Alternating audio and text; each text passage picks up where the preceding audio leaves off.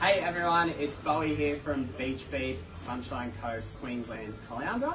Today we're going to be doing a review on an exciting model, the NSP Magnet. Now I know NSP has been known as a bit of that learner brand, but lately they've been coming up with some great models and don't be surprised that you're going to see some advanced surfers riding these things because I've been surfing one of these and I've been blown away with how good they go.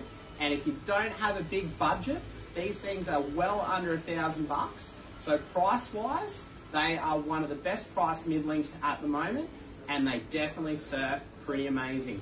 The thing with this board is it's still got a fair bit of rocker at the nose, but they do hold a fair bit of volume in the rails, which makes them super easy to paddle for those guys that just want something that they can glide on but you can still throw it around like a mid-length and you can definitely chuck it around when it gets a bit bigger and a bit punchier, more like a short board.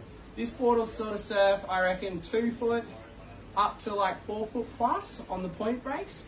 Definitely places like Noosa, Alex, and Moffat's, you can get away with surfing a bit bigger. They get a lot of drive, a lot of speed. You've got a fairly wide tail in front of those fins, it's quite wide up this part of the board, but then pulls in hard at the back half, which is where you get that drive and projection.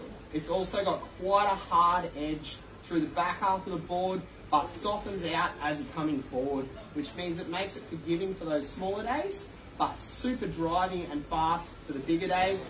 Double concave in that back half of the board, really helping it tip rail to rail. Now I've been running it as a two plus one, you can also surf them as a single fin if you want them to be cruisier.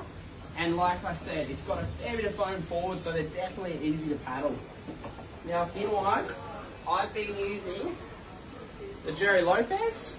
So the Gerry Lopez is quite an upright fin.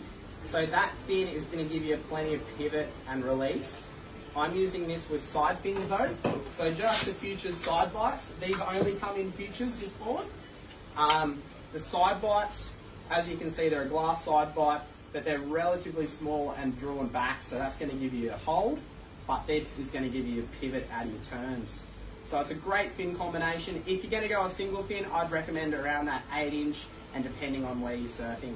So that's my review on the NSP Magnet. I hope you all have a fantastic day and get plenty of waves. I'm Bo from Beach Beat.